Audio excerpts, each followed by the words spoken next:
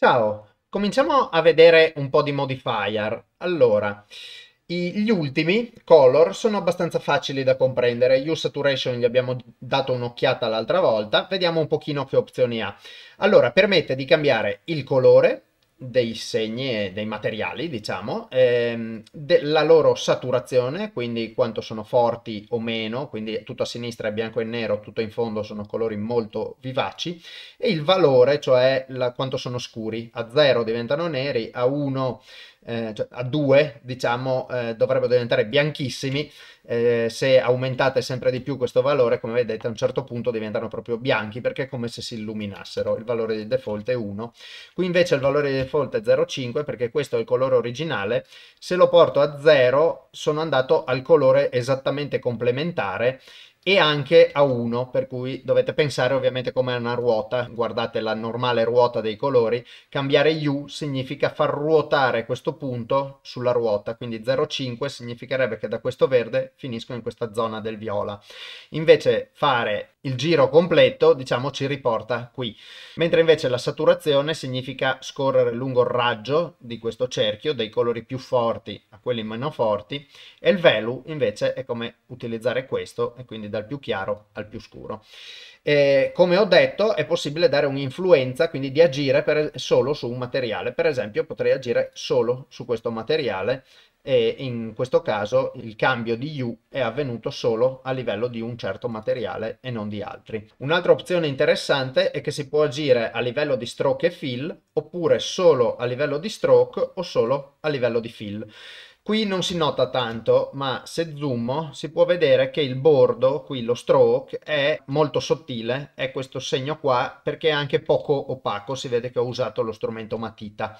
E quindi se io adesso lo applico solo su stroke, possiamo notare che è la matita a diventare gialla, dovrei saturarla, ecco, vedete che comunque agisce solo sul bordo esterno. Da questo punto di vista può essere interessante, tiro via questo modifier, il modifier opacity. Opacity serve a cambiare l'opacità del segno e quindi per esempio se io adesso lo applico solo a stroke e eh, aumento questo fattore, vedete che il segno diventa più opaco. Quindi mi è permesso, grazie a questo modifier, cambiare l'opacità originale con una variante. Come sempre, qual è l'utilità di queste cose? Il fatto che posso animarle. Quindi cambiare l'opacità del segno eh, in edit mode o comunque andando a modificarla vuol dire modificarla mh, mm, in questo fotogramma diciamo per sempre. Usare un modifier ha il vantaggio che questo valore può essere animato. E, quindi ovviamente, come ho detto, possiamo andare a separare in alcune zone solo in certi layer o solo in certi segni e un'altra opzione interessante dell'opacità è che posso decidere di utilizzarla in maniera uniforme. Cioè, se io la clicco, questo valore di strength che metto non è un moltiplicatore della forza originale, ma è il valore effettivo e quindi va a cambiare la strength del segno completamente, ignorando quella che io posso aver fatto con la penna. Quindi se io lo tolgo, questo valore è un moltiplicatore, quindi 1 è l'opacità originale che ho dato anche con le variazioni fatte con la penna. 0,5 sarebbe la metà e 2 sarebbe il doppio.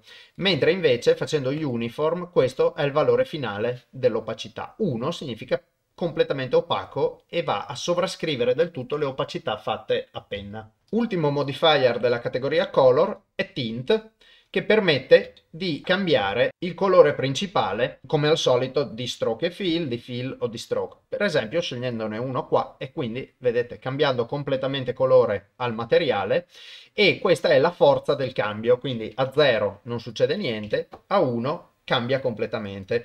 Questo forse è un po' troppo saturo per riuscire poi a notare eh, le altre cose, però vedete in questo modo ha cambiato eh, stroke e fill di tutto però, quindi anche del riflesso. Se io voglio limitarlo solo alla goccia, come al solito, possiamo andare a scegliere il materiale e quindi come vedete ho bloccato il funzionamento solo a questo materiale. L'ho sostituito in maniera uniforme con un colore verde con una forza di 1. Anche questo valore strength è molto comodo per essere animato e quindi un'eventuale variazione di colore comandata da un'animazione. Se invece di un colore unico volessi sostituire il colore non con un colore uniforme ma con un gradiente, notate però che è diventato rosso. Quando diventano rossi i modifier vuol dire che non stanno funzionando, che gli manca ancora qualcosa. In particolare vedete che mi chiede un oggetto che dia il centro dell'effetto di gradiente, oggetto che io in questo momento non ho. Quindi questo modifier ha bisogno di un altro oggetto. Possiamo creare un empty.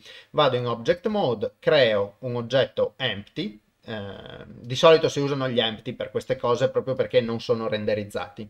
E ora posso pescare l'empty in questione e qui posso definire un gradiente. Possiamo cambiare i due colori, quindi che ne so, da giallo a... Eh, facciamo proprio due colori vistosi, da giallo a blu e vedete qui c'è un gradiente, posso cambiarne eh, le regole, vedete comincia da blu in alto e viene giù giallo eh, ha un certo raggio, posso cambiarne il raggio, grazie alla posizione dell'empty, se torno in object mode e sposto l'empty, posso notare che questo gradiente si muove insieme all'empty.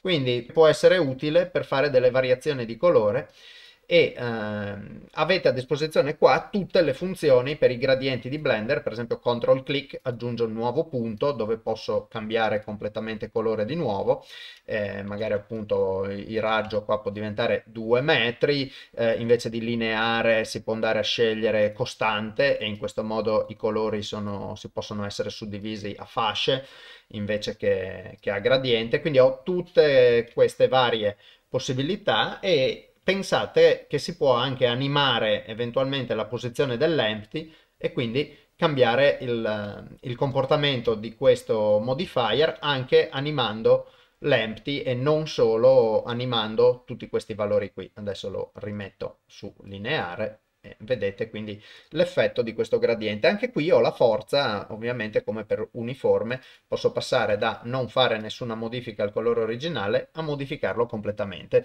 Può essere un modo, per esempio, per andare a cambiare il colore di un disegno, che ne so, in un momento in cui, faccio solo un esempio, si vuole fare un flashback e mettere eh, un colore in bianco e nero, potrei creare un, un, gradiente bianco e nero qui e passare quindi da un disegno a colori a un disegno in bianco e nero facendo saturazione a zero e qua eh, facendo invece il nero e, e, quindi questo potrebbe essere un, un gradiente adesso che fa bianco e nero e ho la possibilità appunto usando l'empty di andare a cambiarlo quindi in base alla vostra fantasia però questo è l'uso e come tutti gli altri posso appunto cambiare qui il, il layer o il materiale sul quale agisce. Grazie e alla prossima!